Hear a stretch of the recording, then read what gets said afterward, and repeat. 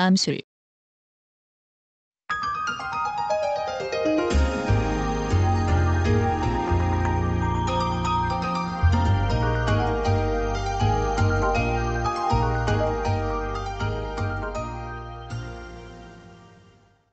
꽃의 중심부에 있는 자성생식 기관.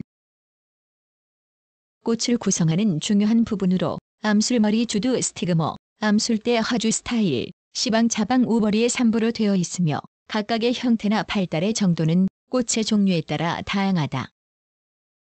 암술머리는 화분을 받는 부분으로 표면에 돌기물이 있거나 점액이 분비되어 있어 화분이 잘 붙도록 되어 있다. 암술대는 암술머리와 시방을 연락하는 부분으로 극히 짧은 것에서부터 긴 것까지 여러 가지이며 때로는 전혀 없는 것도 있다. 시방은 메시 배주를 내장하는 방이다. 수술에서 온 화분이 암술머리에 묻으면 화분이 발화하여 화분관이 뻗어나와 암술대를 지나서 시방 속의 미시에 이르러 수정이 이루어진다. 암술은 심피로 형성되는데 심피는 잎이 변해서 된 것이라고 한다. 따라서 어떤 꽃에서는 암술 대신 작은 잎이 나오는 경우도 있다. 암술은 보통 한 꽃에 한 개가 있으나 무화과 나무, 연꽃, 딸기와 같이 두 개 또는 여러 개가 있는 것도 있다.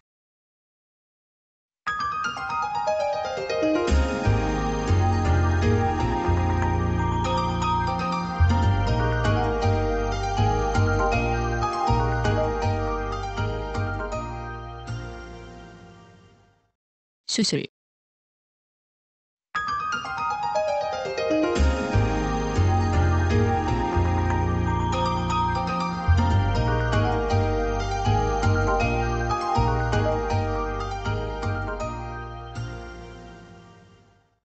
웅성생식 세포인 화분을 만드는 기관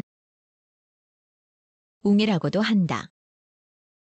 꽃을 구성하는 중요한 요소로서 내부에 화분을 만드는 꽃밥 약과 이것을 받치는 수술대로 이루어진다.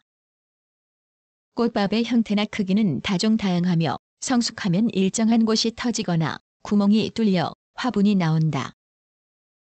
보통 꽃밥에는 아무것도 붙어 있지 않으나 어떤 종류에서는 특수한 모양의 부속체가 붙어 있다.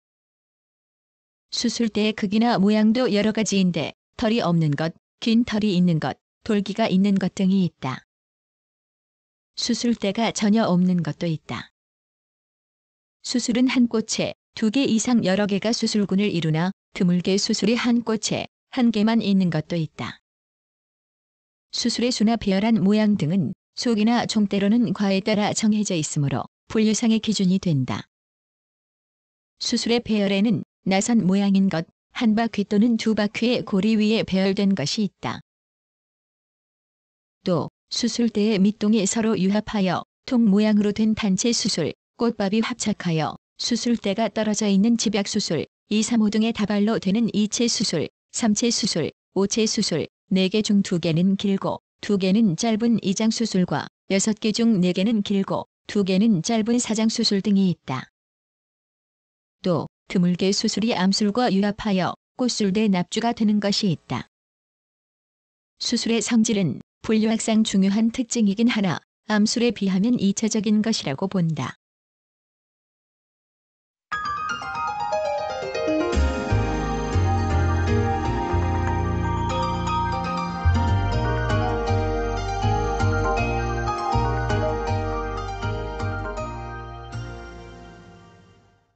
구성, 나그네의 구석구석 여행 낭독, 글 읽어주는 고지혜 들어주셔서 고맙습니다.